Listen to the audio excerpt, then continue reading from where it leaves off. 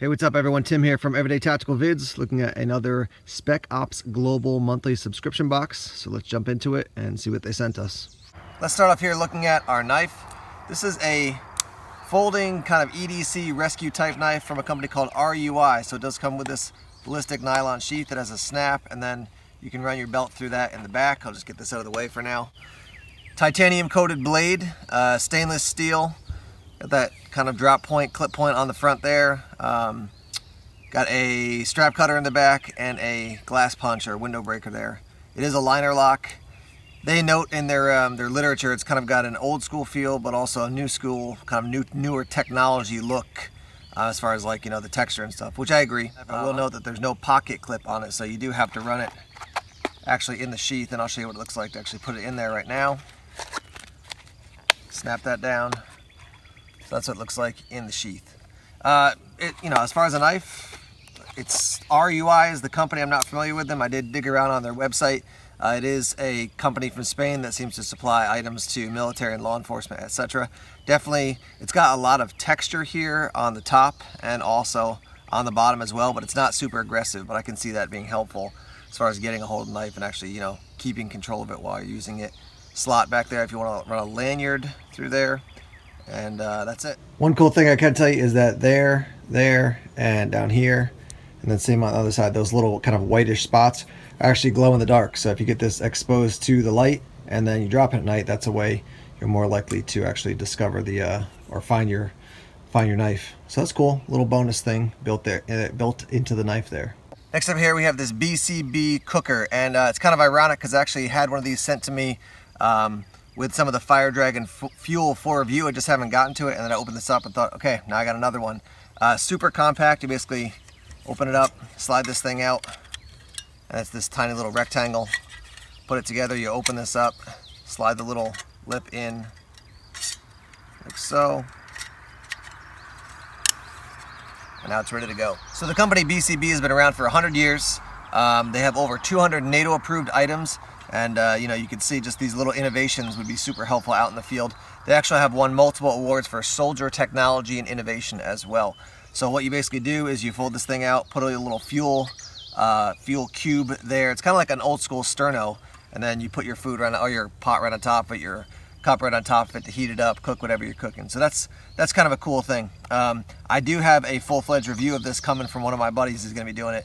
So stay tuned for that in another video, and I'll, um, I'll uh, you know, that'll be on the feed. So if you're subscribed to Everyday Tactical Vids, you'll hear about it. And I think uh, it's a cool little item. I love the fact that it's so compact. And for anybody who says, well, I'll just cook over, you know, I'll just cook over a stove that, or cook over a fire, that's great. But it is a little bit more work than you would think just to kind of get everything balanced and make sure you don't knock your pot or your pan over or whatever. So this is kind of a cool little setup, very lightweight.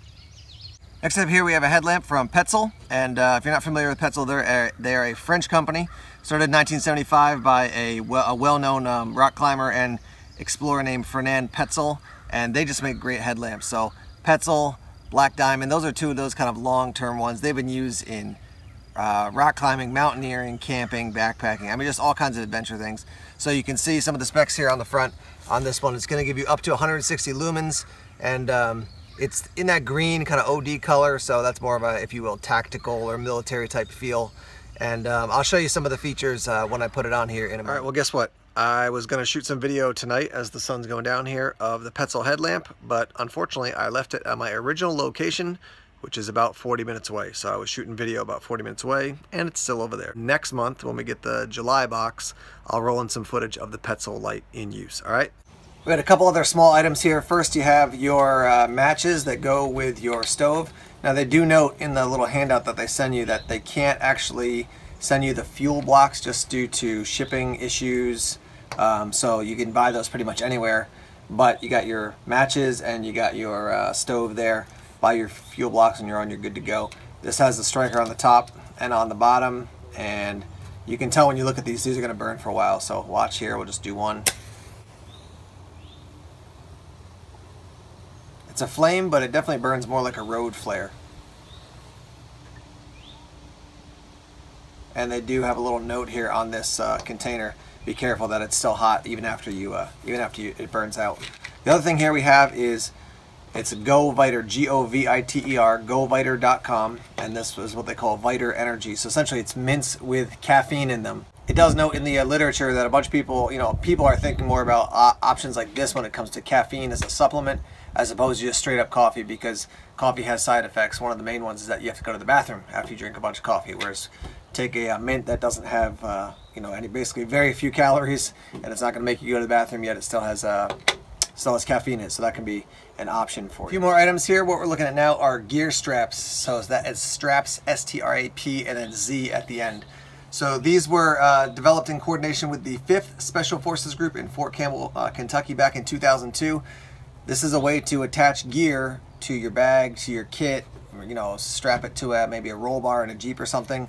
Uh, you've got different sizes here. You got a small, and then you've got a uh, medium and a large, and then you have some extra straps here. Essentially, you've got a kind of a little like T crossbar, and then a loop attached to it. So you put it around the gear and run the T through. You can see I've got a bunch of those small ones right around this. Move this out of the way and then I'll show you maybe one let's do this medium sized one so you can see what that looks like. So there's a medium sized one. Again, you you know put a piece of gear in here, wrap this around it, and it's basically like a huge uh, bungee cord, but without the hooks, it's got these T T size things. And they're also, I mean, these are the large ones. They're small enough you could throw a bunch of these into your bag, and now you got, I mean, with all these, look at this. That's a, a pile of them super small, whereas bungees are much bigger. And uh, yeah, so I think that's cool. Cool little option. That's going to be good for me when I think about uh, carrying like a, an axe or a hatchet, something like that on the outside of a pack. Now I've got a way to attach it a little bit more effectively. That's one of the challenges I found with MOLLE webbing. There's sometimes good ways to attach gear and other times um, not so helpful. So depending on the pack you have, this could be a good option for you to uh, attach gear. Again, gear straps, S-T-R-A-P-Z. Next up here we have this Epic bar. This is a protein bar as you can see. It's kind of like beef jerky but a little softer than that. This is wild boar with uncured bacon. They also have things like habanero cherry infused beef, so a pretty wide variety of that. Uh, all natural ingredients, um, grass-fed grass-fed animals, and gluten-free. So what I'm gonna do is, I mean, this is what it looks like. It's nothing too fancy, but it does look like it's actually gonna taste good. I just finished my morning coffee, so what I'm gonna do is roll in some footage and a little bit of me actually eating one of these uh, Spec Ops sent me another one to kind of test out and see what I think of it. So let's roll in that footage now to see what I actually think about how this thing tastes. Here's the Epic bar. So let's open this up. We're to use our knife to do so. Definitely softer, I can tell you already, definitely softer than your average like beef jerky. Tastes like it got some sort of berries or something in it. See those little spots? I don't know if that's a berry or what it is. Let me see. I'll tell you one thing. As soon as I bite into it, you know when you eat something, you're like, yeah, that's got all kinds of processed stuff in it. This definitely does not taste taste like that. Definitely, when they say when they say this is made of natural ingredients, it, it tastes like that when you first bite it. See that? I don't even know what that is. Looks like it's some sort of like maybe it's like a little cranberry or something like that. One little thing I have just with food is that I don't like to mix my like like when people put fruit on salad that's not a fruit salad so I got lettuce and tomatoes and then somebody puts cranberries on it that's just not my thing. So putting some sort of little berry thing in there I think that's what that is. Yes I just read the uh, ingredients there and it does have dried cranberries. So it's good enough that I'm eating it I'm not like totally disgusting but I prefer not to have that. In this but still overall quite good quite good. Very impressed. Last piece of gear here is definitely the biggest thing. This is what they call, it says Vest Tactical here, load carrying. This is used by uh, the British military. Tons and tons and tons of pockets on this. Uh, one thing that's cool about this is that if you're headed into the woods, even just for a day out, maybe it's camping, hiking, first of all, you can take off as many pockets you want or put as many as you want on, which is cool. And then you can just store your gear in here. So as, if you have, you know, not a ton of gear, you can store it in these pockets um, as, as, far as like size wise gear. You can store a ton of gear just it can't be you know something that's six feet long or something but anyhow um, so you can wear this and I've seen guys who built vests that are essentially bug out vests or survival vests you know so they keep something like this in the back of their car bam you throw it on and then you have all your different gear there in the pocket so you can see you know pouch pouch pouch pouch pouch pouch pouch pouch pouch pouch on the inside there's actually a zipper here and a zipper here so you can get into an internal pocket um, as well. I think this is a pouch here too, isn't it? Yeah, actually, it's more just more space for uh, MOLLE webbing. And let's flip it over real quick. On the back, you can see another two on the side here. Lots of attachment options. Another pouch on the back. And this is made so you can actually put a hydration bladder on the back as well. So again, this is a, a vest that you can use for a wide variety of applications. I like the concept of something like this.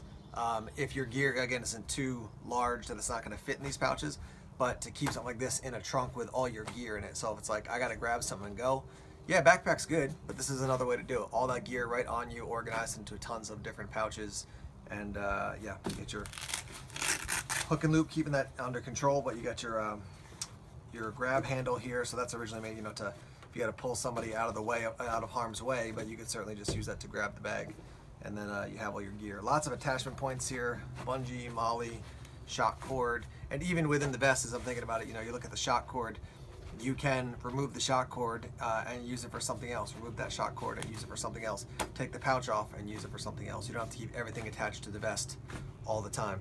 That was the Spec Ops Global from June 2016. And two things. Let's hear in the comments uh, what was your favorite item and why was it your favorite item. So leave a comment down in the comment section. Tell us those two things, your favorite item and why it's your favorite item. The other thing I want to tell you is that as of July 2016, they're going to be making some changes to the boxes. So in each box, you're going to get uh, military, first responder, and tactical gear, and it's going to be based around kind of a theme or a particular loadout, particular kit concept. So they're making some changes to the boxes based on the feedback they've been getting from viewers and also from people who've subscribed to the boxes. So uh, cool that they're willing to get that feedback and make changes, and I look forward to uh, to seeing what they're going to be doing in the months to come. All right, once again, down in the uh, comment section below, your favorite item and why it's your favorite item. And uh, as always, more videos coming soon. Thanks for checking this one out. Take care.